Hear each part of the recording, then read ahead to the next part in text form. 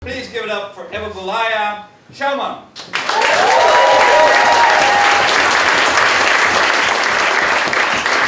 Abigoliah Schamaun, Yeah. welcome to Broken Nose Media, Good to be here. now with video. Yeah, fancy. Welcome back to Broken Nose Media actually, because remember we did yeah, an I did interview the, the, the type, that means the typing the typing. interview. Typing. Now we have video, bright lights. Um, how are you? I'm good. Yeah, life is good. I'm in Glasgow doing the stand this weekend, and I just got done with a yoga class, so I'm feeling all limber and open. so yeah. Nice one. Uh, have you seen Deadpool yet? I did. Oh, have you Uh, seen it? Yeah, Oh, I did. Have you oh, seen it? I did see it, Yeah. Yeah, I really enjoyed it. Um, I went in not really knowing anything about the comic book. I'm not a big comic book nerd, uh, but I still really appreciated it, and, and I liked the fact I like that it also made fun of the industry. Like even the opening credits were like a hot girl, Yeah. a hot guy, a CGI character. yeah. Yeah, yeah, I thought it was good. I I hadn't really seen it in the comic, but I'd seen like the build up and stuff. Yeah, yeah, And I was like, this is gonna be good. yeah, I really enjoyed it. And the bit when Colossus is like dragging like we're going to take you to Xavier. Yeah. And he's like, McAvoy Stewart. that was good. Um, cool. What was the month long food challenge that you did?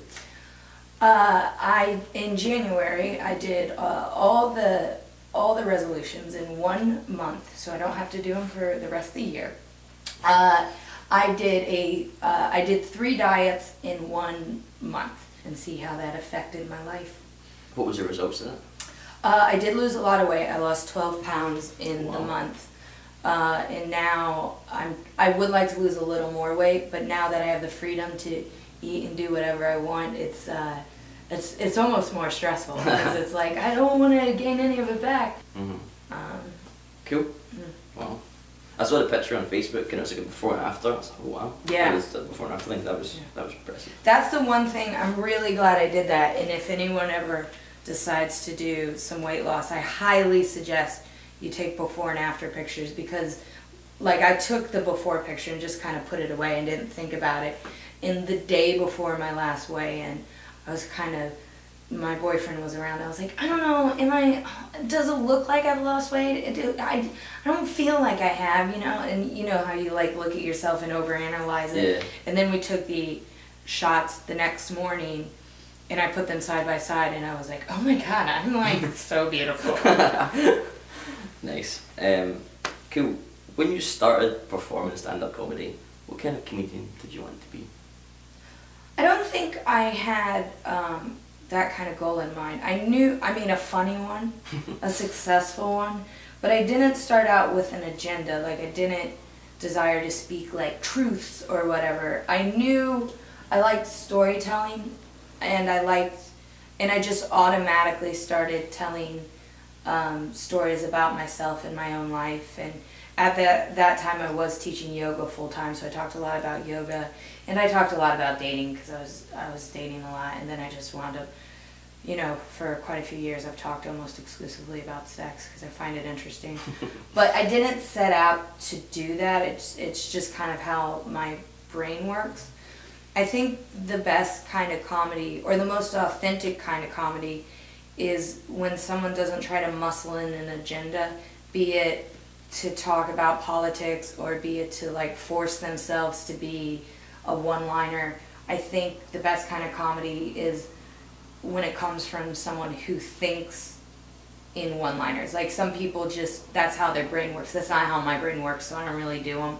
Mhm. Um, or some people just are always batting around in their head uh, social issues and politics. So if that's always what they're thinking about, that makes sense that that's what they talk about on stage. Yeah, that's true.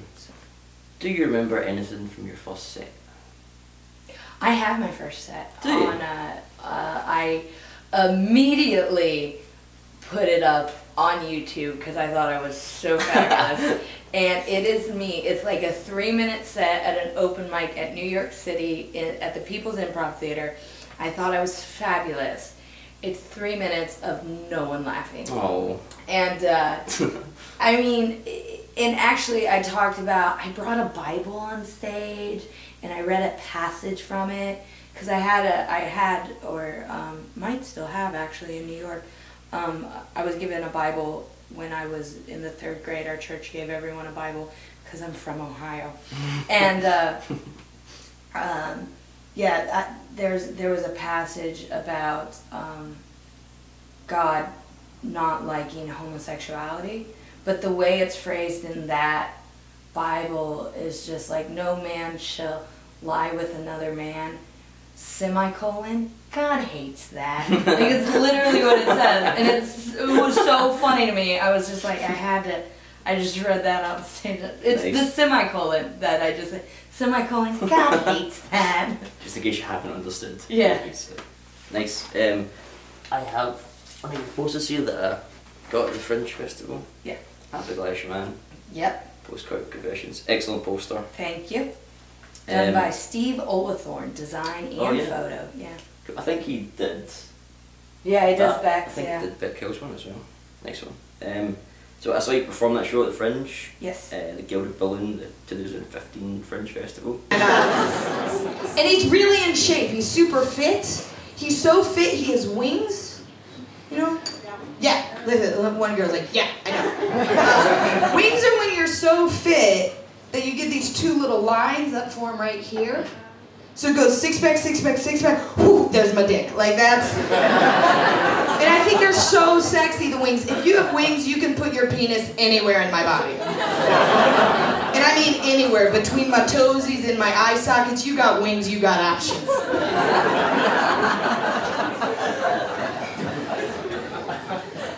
Thought it was really, really good. thank you Um, were you happy with the show? No, uh, in that is the first show. Like I said, I like telling stories, but I've never done an actual like linear, like an hour story show. Um, I'd say my previous shows have been kind of themed, but it's not like at the end I was trying to make a point. In that show, I really went by the Edinburgh formula, where uh, you set something up and then there's a turning point, and then at the 40 minute mark, you bring it down and you make your and then you bring it back up and you end on a laugh. And it was fine. It wasn't my best work. It was also because it was a story on shows where the audience was a bit stiff or a bit tired or a bit hot. I didn't feel like I could break the the story to like be like, you know what, let's talk to you guys for a little bit. Let's learn things about you because I was afraid if I missed certain beats then the story wouldn't make sense. Yeah. Um, I don't know which time you came, but one time I did do the show and I forgot half of the setup for the end of the story. it was amazing. I think It was sold I out. think you forgot like a couple of lines or something, and then you sort of went back. Yeah, yeah, I yeah. don't know, But uh, No, like I got to the end and realized I never set up the bet. like I only set up half the bet. It was it was an it was actually probably my favorite uh, show because something went wrong and because the audience like we kind of came together um, and got to explore the fact that I fucked up so much instead of me going up like I don't know. I felt like doing an hour themed show or an hour narrative. I guess it's a narrative show. It it didn't feel like stand up. It felt like a play. And I love theater and I love doing plays, but if I'm going to do a play, I'd rather just do a play instead of do a stand up y show. So part of that show had your routine, the weirdest things said after sex. Yeah. Do you mind if I draw all around you? If someone says that to you, you've just fucked a serial killer. Uh, they were so weird. Like, were they all like? Where did you get those from? I got them uh, off the internet, so you know they're all true.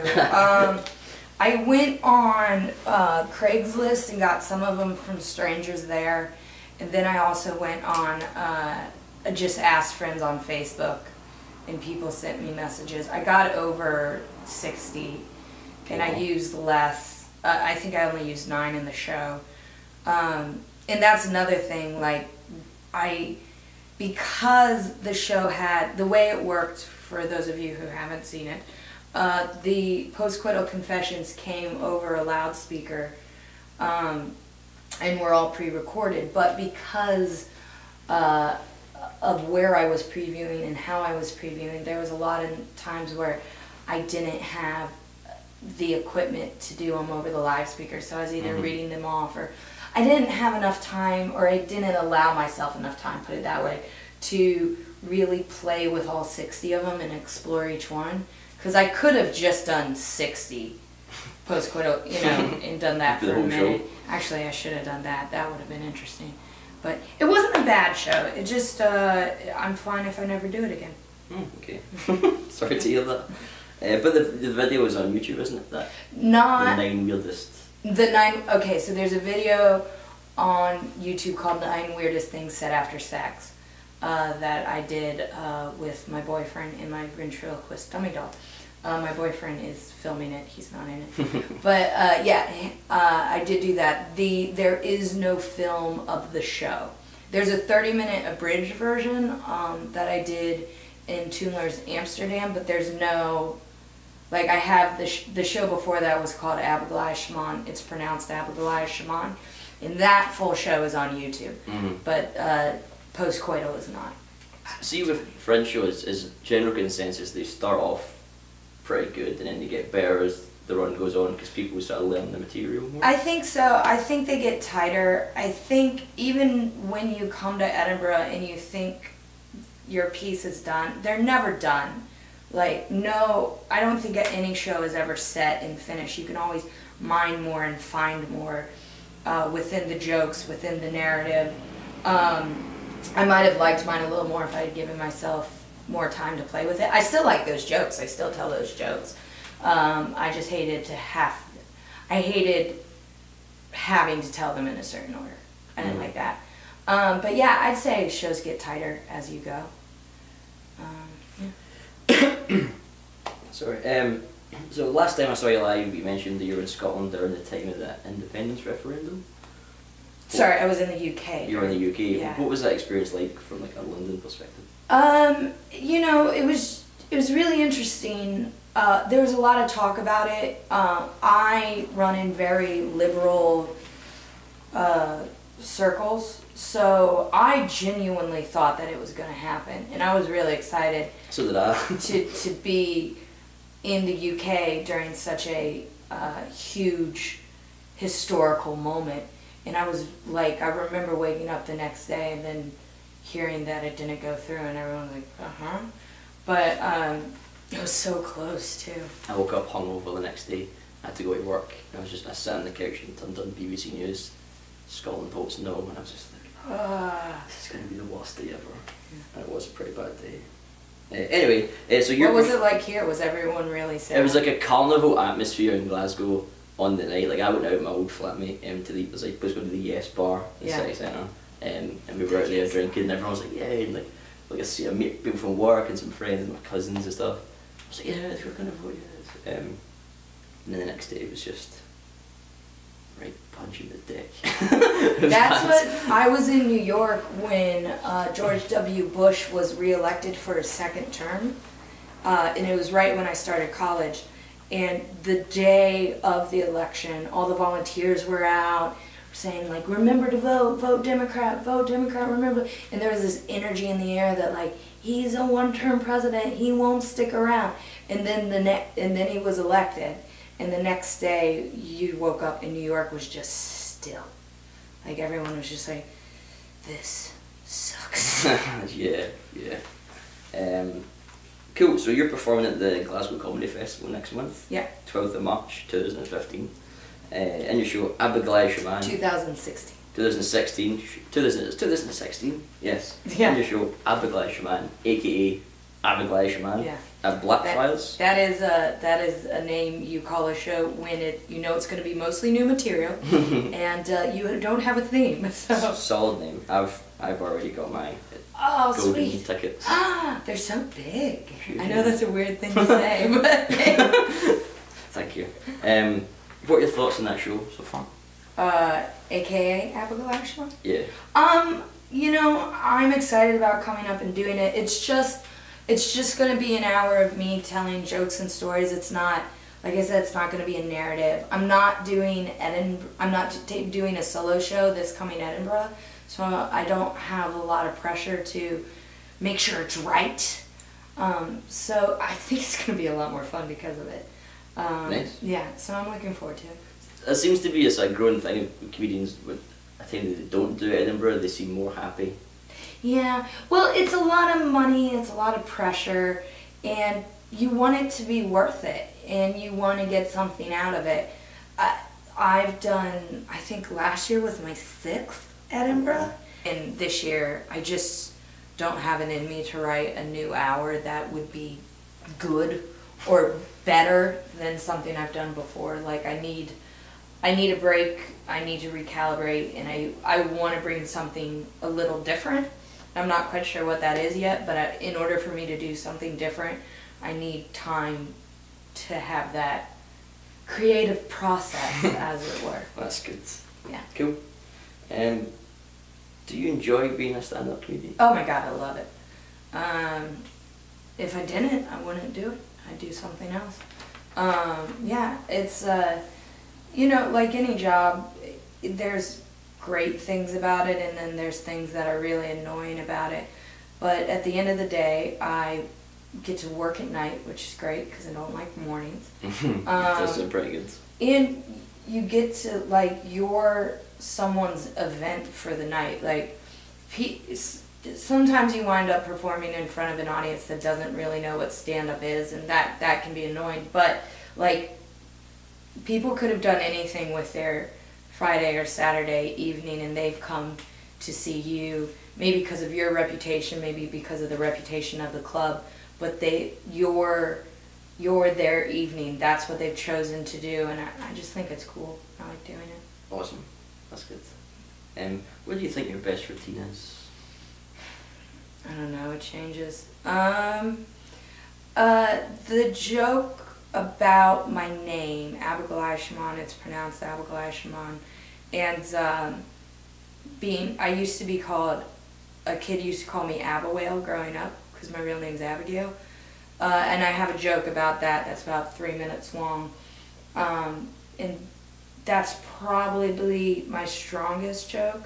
Um, I also have one that I don't do very often anymore about uh, I had an abortion and um, I have a joke about that uh, where I never say that word because it's very uncomfortable for people. Um, and I, I'm that's the one I'm probably proud of as far as the writing is very very clever uh, because it's a very sensitive issue. Mm-hmm. Um, but as far as like a crowd pleaser, the one about my name is probably the. All right, we'll just end off. Does this. that ever hurt doing that? Considering it's like going back to kids calling you names at school.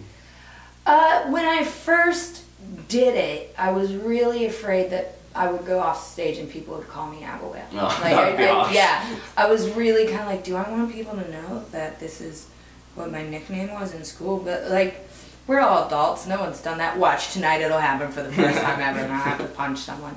But uh, but yeah, sometimes when I'll do a joke or I'll say something out loud I've never said before, that's nerve wracking because it's like telling strangers a secret that you've never told anyone. So that can be nerve wracking. But then once everyone laughs about it, the power of like being made fun of as a kid, that that power, that how much it hurt my feelings as a kid, it's it it doesn't exist anymore because we're all just making fun of the situation. Mm-hmm. So yeah. That's good. Um, so you created a few very funny videos on your YouTube channel Mhm. last year, uh, you. especially the "How to Be a Successful Awesome Comedian Ever" video. Thank you. Um, is that something you enjoy doing when off stage? I do. Um, my boyfriend is a filmmaker, and so that's why this past year I was making videos, which I've never really done before. We want to make more, but our schedules are a little tricky, and sometimes when we hang out, the last thing we both want to do is work. Yeah. Um, I was telling you before the podcast starts, we're gonna start living together, and kind of we're like, yay, we can make videos all the time now. that'll probably last for a week, and then we'll be like, I hate you. I'm gonna, I'm gonna go to a coffee shop by myself. What's been the most fun video to make of all the ones you've made so far? Uh, how to be an awesome, totally awesome comedian ever was pretty fun. With Edinburgh coming up, it's important to stay fit. So I, of course, I say stay hydrated. and I've started doing CrossFit, so I have to post about that on Facebook a lot, and that's a big workout. And I meditate while watching Simpsons reruns.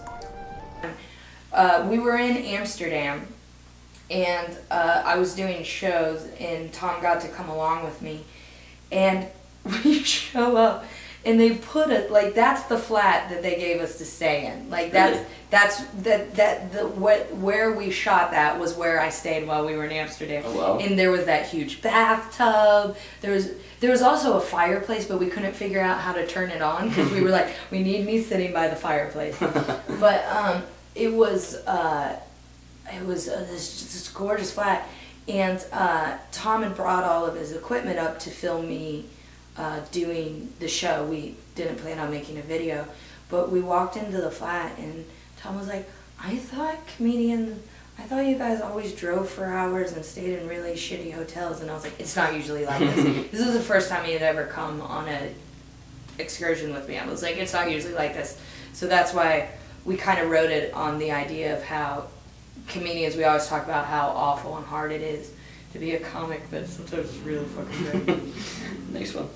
yeah. Um, so I listen to your Namaste Bitches podcast Yes. when I'm in the gym. and It's good for the motivation because it's always people talking about being fit and healthy. Um, also, it's got a pretty good name.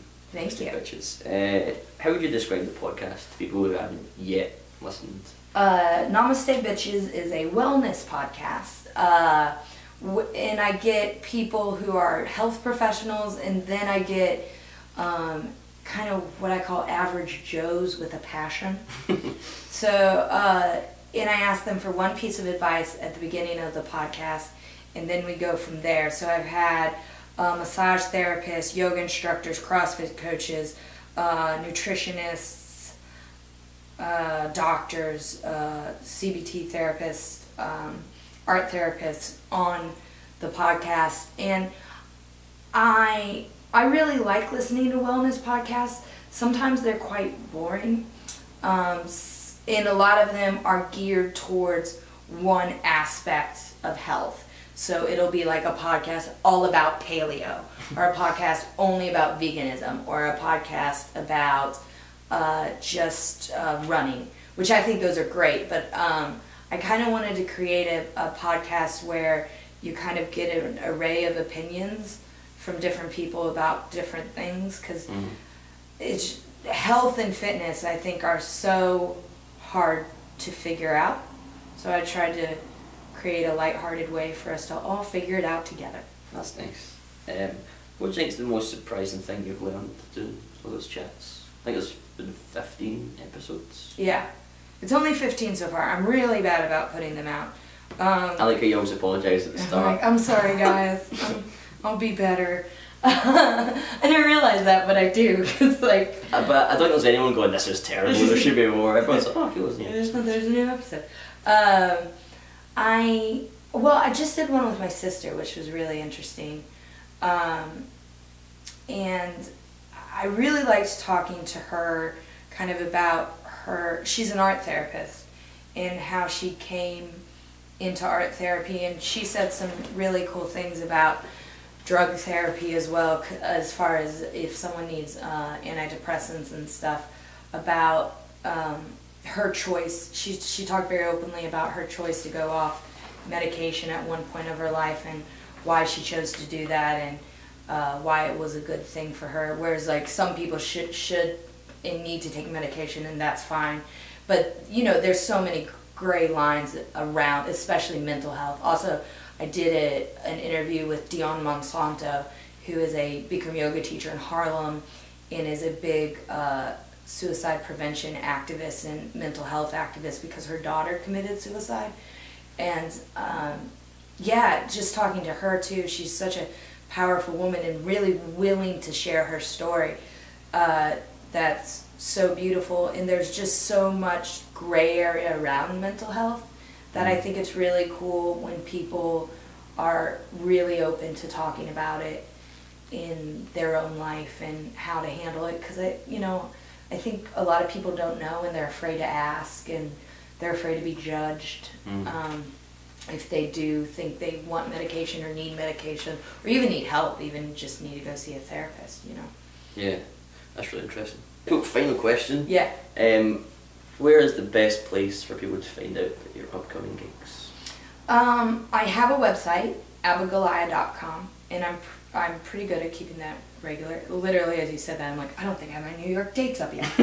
um, but abigoliah.com has uh, everything from my videos to my Twitter to the, I have a mailing list you can sign up for that I've yet to use. Um, but yeah, so abigoliah.com has everything, and then of course I'm on Twitter as well at Abigoliah. If you Google my name, only I come up. That's like true. that's it. That is true. But abigoliah.com has all the information, and then Namaste Bitches, all of it is on the podcast, or excuse me, all of it is on the website. So cool. Well, Abigoliah Schamaun, thank you very much. thank you, Chris.